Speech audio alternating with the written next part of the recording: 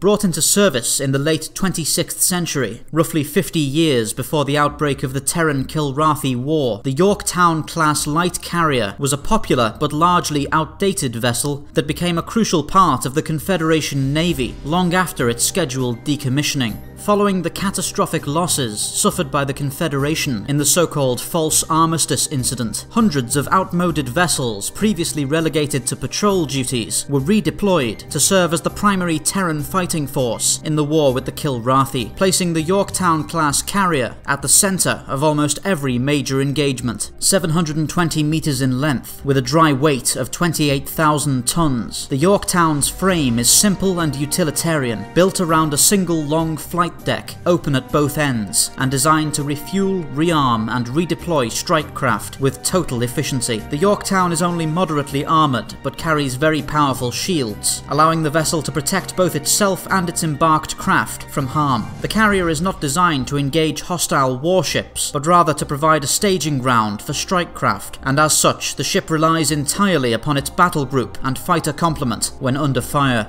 The Yorktown's weapons complement is geared almost entirely toward anti-fighter defense, and consists of 11 dual-mount laser turrets spread across the carrier's frame. Should the vessel be forced into combat with a hostile warship with no apparent means of escape, it can employ a single anti-capital missile launcher capable of loading a variety of warheads, but this is considered to be a weapon of last resort and should not be relied upon regularly. The standard strike craft complement of a Yorktown-class carrier is made up of 40 ships, normally comprising F-27 Arrow 5 interceptors, Hellcat 5 attack fighters, HF-66 Thunderbolt 7 heavy fighters, and FA-76 longbow torpedo bombers. Under extraordinary circumstances, some Yorktown-class vessels have also been provided with a small number of F-103 Excalibur space superiority fighters, a ship famed for its near-perfect combat record and advanced stealth capabilities. Easily the most famous example of a Yorktown-class class carrier is that of the TCS Victory, commanded by Captain William Eisen in the closing years of the Kilrathi War. Enduring months of brutal combat against vessels far superior to itself, the Victory and her fighter wing, commanded by the legendary Colonel Christopher Blair, were able to turn the tide in the Confederation's favour across numerous systems, and were ultimately selected to play a crucial role in Admiral Geoffrey Tolwyn's final strategy, with which he had hoped to completely destroy the Kilrathi Empire. In 26 669, the Victory and her battle group were deployed to escort the newly developed TCS Behemoth, a colossal mobile superweapon intended to destroy the Kilrathi homeworld. But after the Behemoth was destroyed by Kilrathi stealth fighters in an unexpected ambush, the Victory and her crew were forced to quickly improvise a new strategy. The carrier was provided with a prototype weapon known as a Temblor bomb, designed to exploit the natural seismic instability of the Kilrathi homeworld, and in a near suicidal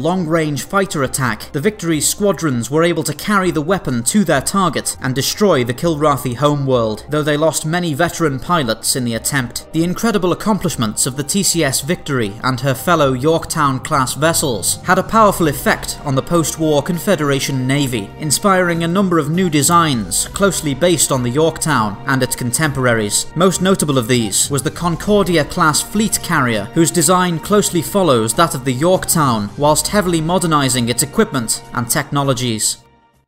Thank you for watching Spacedock. Please remember to like, subscribe and share for more science fiction spacecraft summaries. If you enjoy the channel, why not consider pledging your support on Patreon? For just $1 a month, you'll be able to access the Spacedock schedule to see what's coming up.